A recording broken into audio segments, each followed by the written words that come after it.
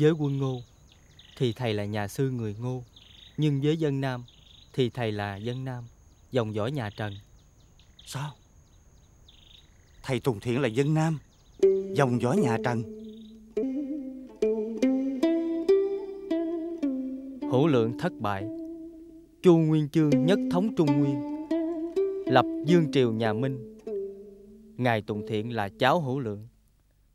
Ngài thấy mình vẫn là người Nam Do vậy, khi quân tướng của hai huyện Đông Sơn và Thanh Chương dây chùa để bắt những người giết quan tuần kiểm, Ngài đã bảo vệ họ bằng cách bảo binh tướng Ngô lui quân để cứu họ.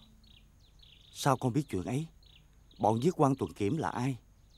Họ là những dân Nam đang muốn khôi phục lại nhà Trần, những tay kiệt liệt trong thiên hạ. Con quen họ.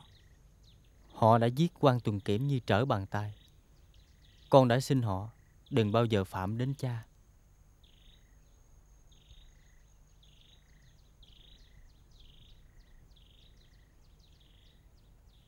Bác có khinh sức quá không? Có thể tin được cậu ấy. Nếu không tin cậu ấy, tức là không thể tin cô Liên, cô Chí và cả bác Tính, cô Triệu. Cậu ấy thế nào? Là một người tôi tin. Biết võ Biết văn, Biết lẽ phải trái ở đời. Dẫu biết như vậy, Tôi vẫn cho người theo sát ông Giảng. Cha của cậu ấy.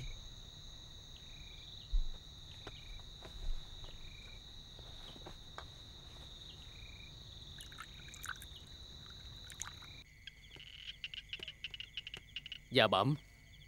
Cơm canh đã nguội lạnh. Phu nhân bảo con mời đại nhân và công tử.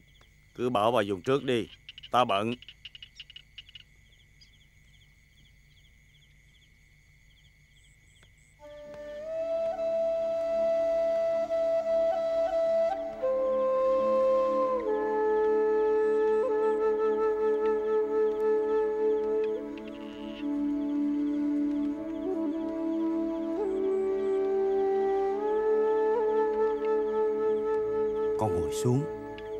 Nói tiếp cho cha nghe.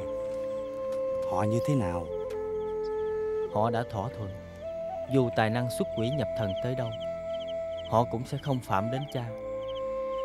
Nhưng ngược lại Vì nghĩa lớn Họ cũng xin cha giúp sức cho họ. Họ muốn gì? Họ chỉ xin cha thuận chứng cho họ tờ giấy này. Vì nghĩa lớn Đây là lòng của muôn dân nước Nam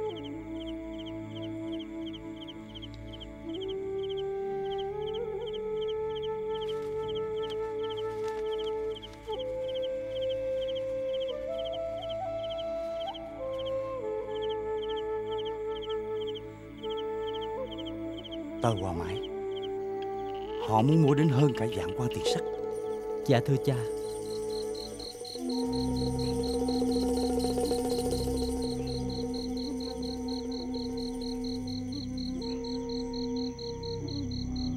Sắt để chế tạo binh khí.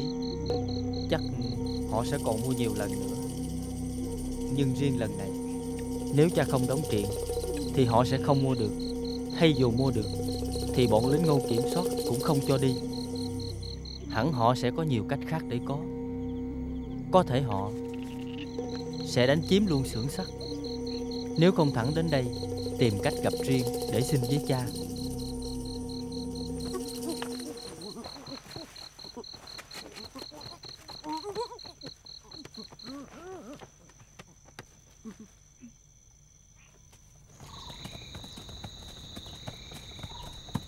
Trời ơi ghê quá thôi về về Thôi về về Vậy còn muốn bán cái gì nữa Thôi đi về Đi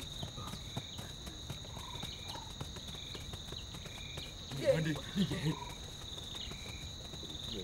ghê quá đi Đi về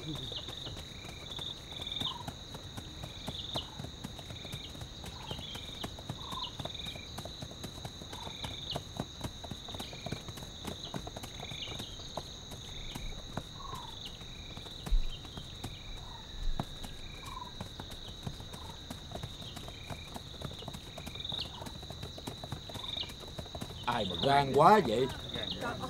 Phụ tá tri huyện Đông Ủa vậy hả Đừng có nói bậy. Đội đừng có nói bậy. Bây giờ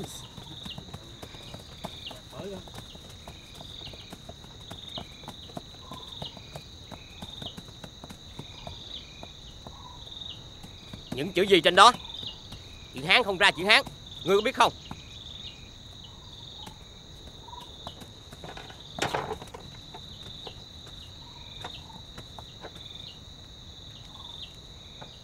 Thằng nào viết cái gì mà quan quân ngô không đọc được? Thằng già này có biết không? Bẩm tướng quân Chắc là quân nhà Trần viết Họ viết bằng chữ Nam. Chúng nó viết cái gì? Bẩm tướng quân Nhờ Dạ cái gì? Giờ... Chúng viết gì nó nhanh cho tao biết. Tao còn bẩm lại với quan. Dạ xin tướng quân tha lỗi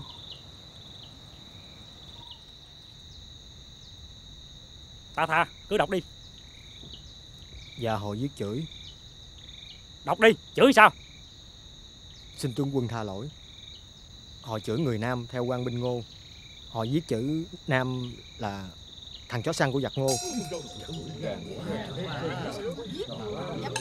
Về bà ơi ghê quá à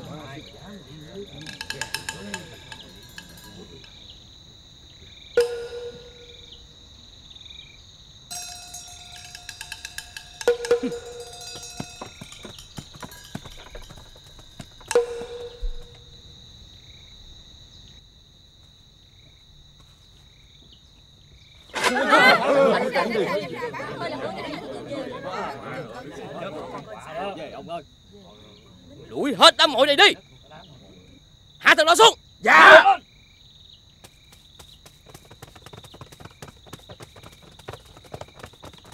Tránh ra Tránh ra Ra đi Tránh ra Tránh ra Tránh ra Vô đây chi Tránh ra Tránh ra hết Tránh ra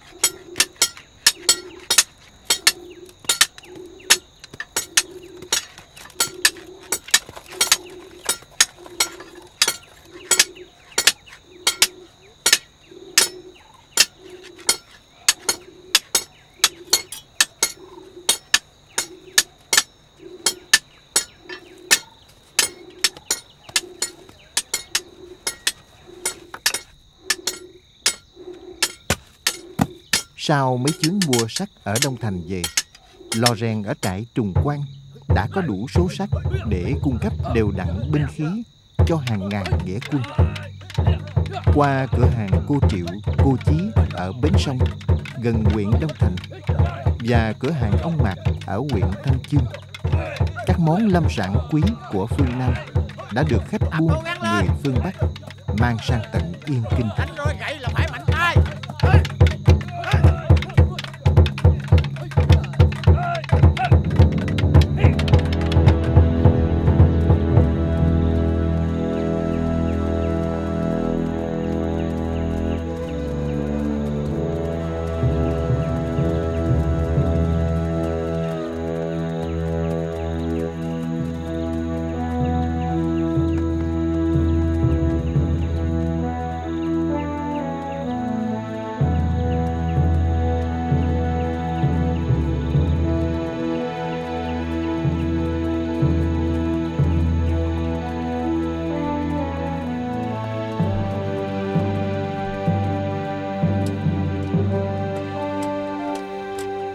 Mắm muối từ biển lên theo đường núi đến tận Lão Qua, Miến Điện, Vân Nam. Ruộng rẫy ở trại ngày một được mở rộng hơn. Người theo về đến trại ngày một đông hơn. Ngoài thanh niên ở các làng ấp, thổ hào thổ mục các nơi khác, còn có các nho sĩ, các quan lại cũ của nhà Trần. Theo câu nói được loan truyền trong dân gian. Muốn chết cứ làm quan cho giặc ngu muốn sống hãy vào rừng. Họ vào rừng đến với trùng quan được ông khoáng ông kiên đón tiếp.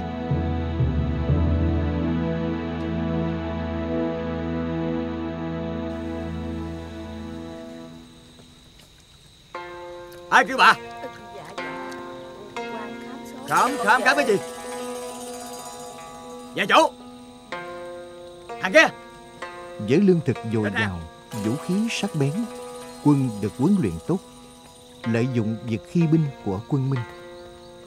Đồng thời, dưới sự chỉ huy của ông xí, nghĩa quân trùng quan đã đánh phá những trạm thu hàng hóa, chặn cướp lương thảo của quân minh. Một số đem chia lại cho dân đói kém, một số chuyển về trại.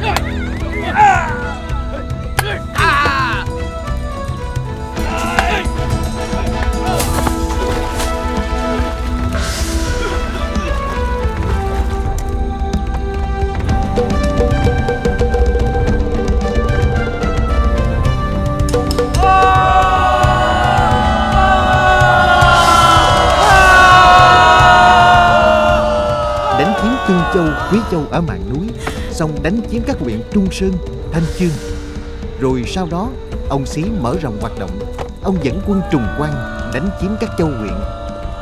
Ngoài số quan cai trị là người Minh, binh lính ở các châu huyện này hầu hết là dân Nam. Tất cả họ đều sẵn sàng giết giặc ngô, cướp thành trì về với quân trùng quan. Sau các châu Tương, Quỳ và các huyện Trung Sơn, Thanh Chương, các huyện Nam Đường, Hưng Nguyên, Đông Thành, Yên Thành cũng đã nhanh chóng bị quân trùng quan thu phục. Các quan cũ của nhà Trần được mời làm giám xuyến các nơi ấy.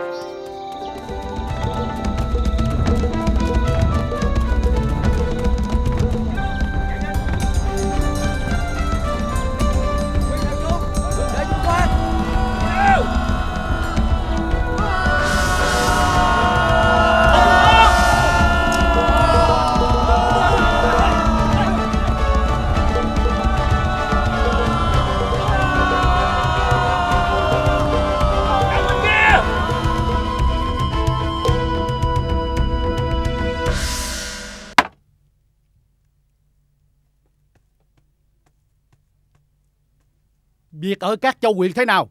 Tấu rõ ta nghe. Dạ bẩm đại quan. Sao? Dạ bẩm Theo tin dò thám Chúng đang chuẩn bị đánh vào thành Nghệ An à. Ai nói? Tin ở đâu ra? Đứng lên đi. Dạ bẩm đại quan Sau khi mấy châu huyện bị mất Cả tỉnh thành, Nghệ An rộn lên khắp nơi. Bọn dân Nam cũng tụ tập bàn tán à.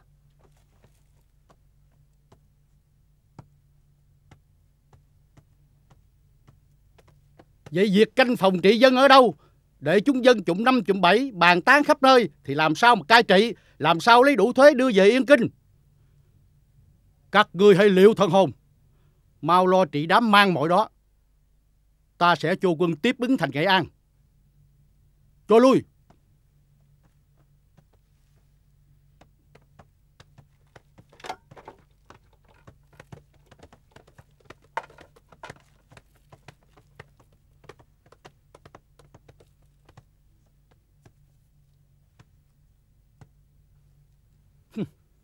Lũ ăn hại.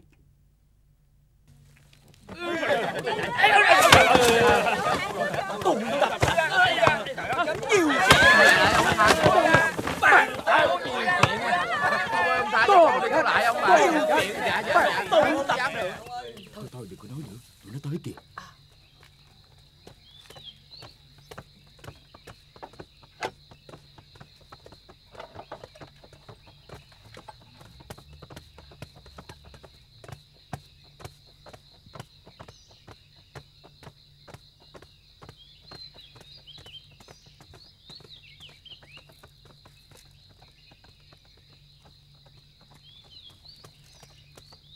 Mấy bác có bàn gì Thì thầm nhỏ mồm cho cháu. Cháu còn buôn bán nuôi chồng con nữa nha. Nè nhỏ. Cho mày một trinh Ra trong chừng giùm bọn tao. Nhanh lên đi đi. Dạ. Vậy là họ đã đánh chiếm Thanh Chương Yên Thành rồi. Đâu phải chỉ là Thanh Trương Yên Thành. Nghe là tới giờ họ đã lấy hết cả vùng Trung Sơn Hưng Nguyên. Trại trùng quan là của họ Trần hay họ Hồ Họ hồ đâu nữa mà họ hồ Cả cha con ông, ông cháu gì đều bị bắt hết sang Yên Kinh Chầu lại vua ngô cả rồi Trại trùng quan là của ông Quý Khoáng Vua Giảng Định và ông Khoáng đều là người họ Trần cả. Vua Giảng Định là con thứ của Thượng Hoàng Nghệ Tông. Ông Khoáng là con của Mẫn Dương Trần Ngạc, cháu nội của ngài Nghệ Tông. Gọi vua Giảng Định bằng chú. Ôi trời, sao chú biết nhiều thế? Mình là người Nam, không biết chuyện nước Nam thì học chữ làm gì? Vậy sau bữa đầu năm, quan tổng binh người ngô qua làng, chú lại quỳ lại bên đường trình bẩm rằng không còn người họ Trần. Sư mày! Sư mày! Tao là gì của mày? Mồm với miệng! Mấy thằng kia!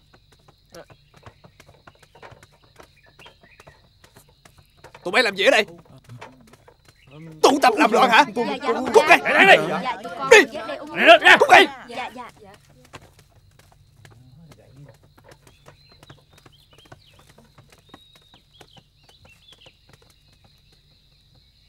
Tiên sư chúng mày, có ngày ta sẽ giết chúng bay. Trời ơi! Tao lại mày! Chú lại cháu!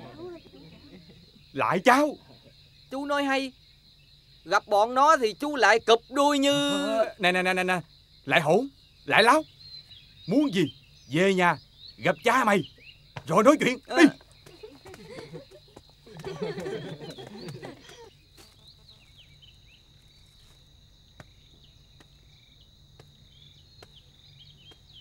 khắp tỉnh thành Nghệ An vừa xôn xao với tin quân Trùng Quang đánh đuổi quân Ngô ở các châu huyện thì lại có tin quân vua Giảng Định đánh tan đại quân Ngô ở Bô Cô. Suýt diệt được tên tổng binh Mộc Thạnh của giặc. Rồi tiếp tới là tin vua Giảng Định. Giết quốc công Đặng Tất và quan đồng tư khu mật viện Nguyễn Cảnh Chân. Đã xôn xao dân chúng càng xôn xao hơn. Cả tỉnh thành, ai cũng tin rằng không bao lâu nữa đại quân Ngô sẽ vào Nghệ An.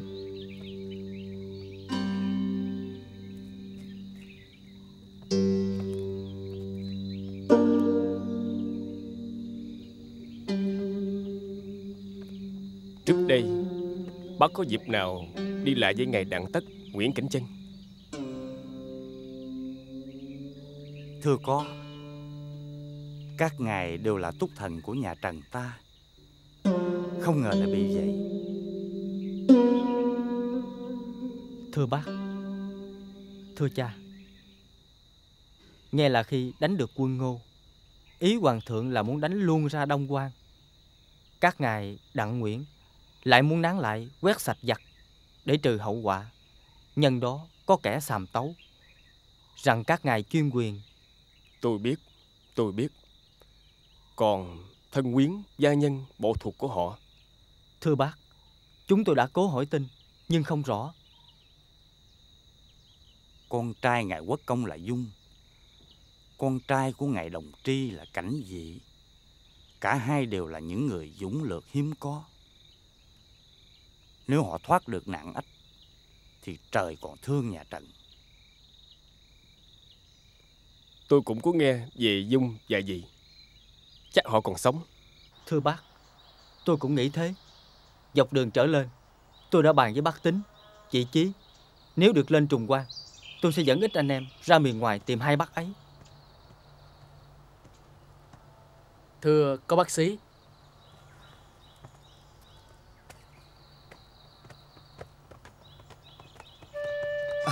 Chào các bác. Tôi dắt về trại thêm mấy anh em nữa. Ai thế?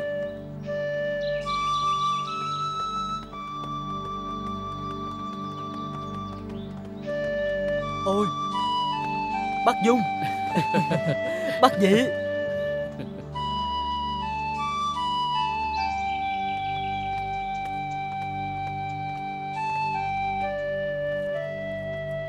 Được rồi, được rồi.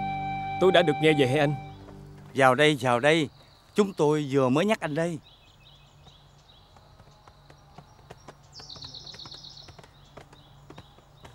Cô Chí, cô Liên đâu? À, trên đường về đây Hai chị ấy xin ghé lại chùa để hầu hòa thượng Tùng Thiện Thầy lúc này thế nào rồi? Thầy vẫn thường Thầy vừa bảo chúng tôi gánh lên mấy gánh sách để chuyển lên trùng quan toàn sách cổ của nước Nam. Thầy nhắn lời dặn chung. Anh em phải hết sức giữ gìn. Bởi đó là nước Nam. Nước Nam vẫn sẽ còn.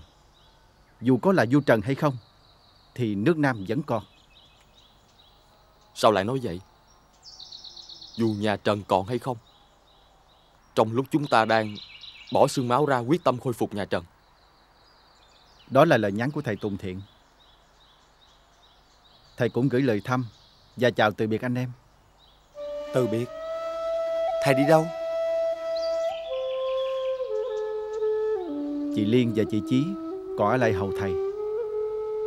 Có lẽ còn nghe thầy nói nhiều hơn, biết rõ hơn.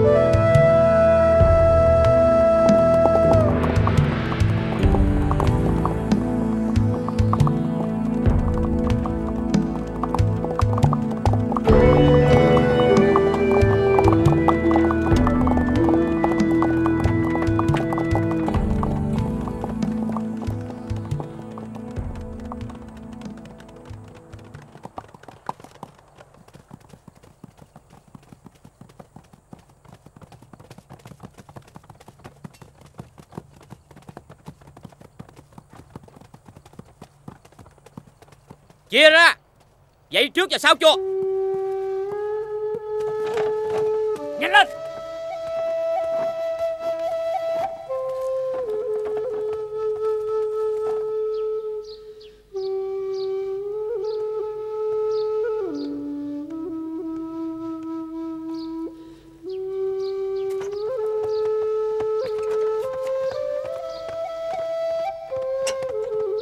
Sư Tùng Thiện đã trốn đi à?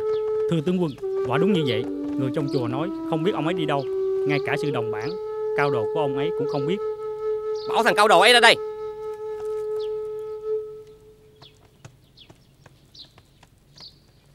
Thưa tướng quân, dân dân lệnh tổng binh đại nhân, tôi và các người đây đã đến dò xét. Quả thật, sư Tùng Thiện đã lấy đi hết mọi lễ vật quý hiếm mà các quan đã cúng vào chùa và cả số tiền trùng tu chùa và số đồng để đúc chuông. Còn số thư sách Đời Trần đời Lý Gì đó.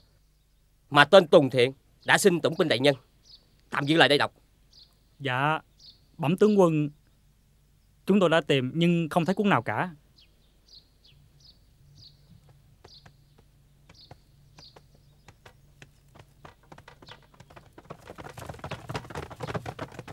Mô Phật, hôm nay đốc binh tướng quân đến giếng chùa xin... Ta không đến giếng chùa Mà đến xem thử các ngươi nói sao Về việc sư Tùng Thiện trốn đi Ông ta trốn đi đâu A-di-đà Phật, kẻ tu hành như mây ngàn hạt nổi, không bị ràng buộc vào phiền nhiễu thế gian. Ngài rời ngô dân du sang đây hẳn ở ngô không ai hay. Rồi ngài rời đây đến đâu chúng tôi sao biết được. Dân du Có phải lão đã mang của cải dân du Lên rừng trùng quan Để làm vua bọn thảo khấu mang mọi trên ấy Thưa tướng quân, nếu có vậy thì hòa thượng chúng tôi tự trôi mình vào phiền nhiễu thế gian. Kẻ xuất gia chúng tôi không có quyền biết đến. Được Rồi ngươi sẽ thấy